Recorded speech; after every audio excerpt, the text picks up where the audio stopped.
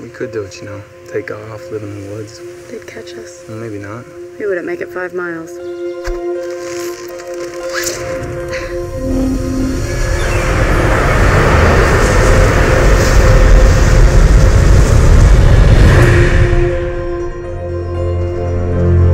Welcome, welcome. The time has come to select one courageous young man and woman for the honor of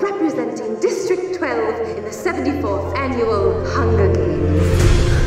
It's your first year, Prim. Your name's only been in there once. They're not gonna pick you.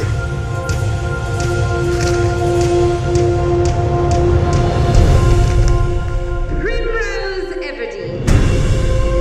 Prim! I volunteer! I volunteer as tribute.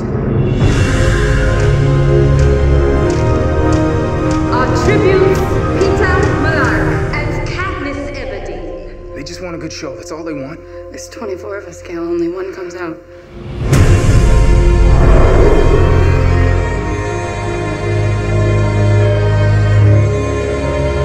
So you're here to make me look pretty? I'm Here to help you make an impression.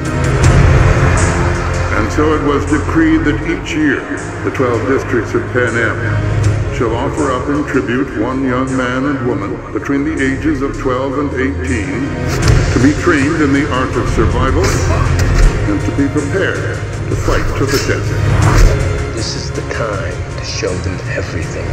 Make sure they remember you. I just keep wishing that I could think of a way to show them that they don't own me.